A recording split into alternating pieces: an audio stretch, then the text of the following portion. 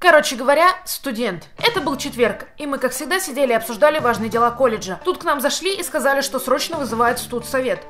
Председатель сказал, что к нам приезжают учиться иностранные студенты Сербии, и его нужно встретить. Мы с умным видом покивали головой и поехали на вокзал. Нам было холодно, а серба все никак не было видно. Но тут наконец-то из-за горизонта появился поезд. Мы были готовы во все оружие, а вот серб не был готов к такой весне. Эй, Маскарсеп! Кильганманда!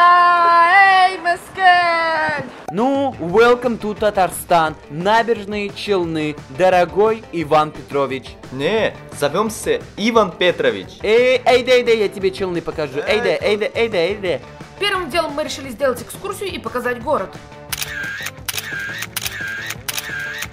Затем серб спросил, Что же си доровка? на что Ильнур ответил, что мы туда не поедем, а лучше пойдем к самому главному месту в Челнах. Затем Ильнур спросил, Эй, эй, эй, что ты делаешь? Здесь же не фотографироваться надо, а заходить нужно. Стой здесь, жди меня.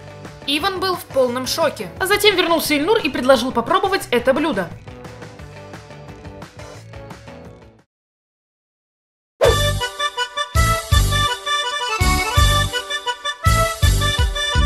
Биг Тамле.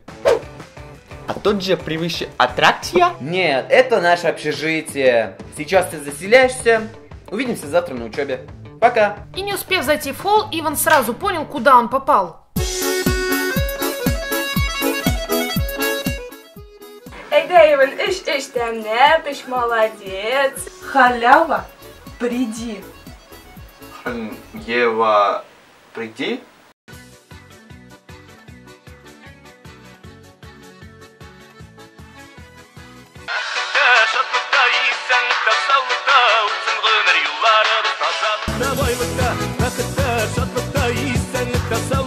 Ну и как ты одет? Спросила Саша и сказала переодеться. Ну вот, другое дело. Затем начались учебные будни.